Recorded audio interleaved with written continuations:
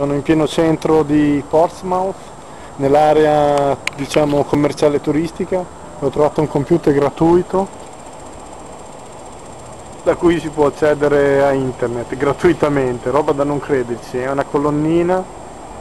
e semplicemente niente, uno va lì e ci sono dei c'è un touchscreen e niente, uno lo usa gratuitamente finché gli pare.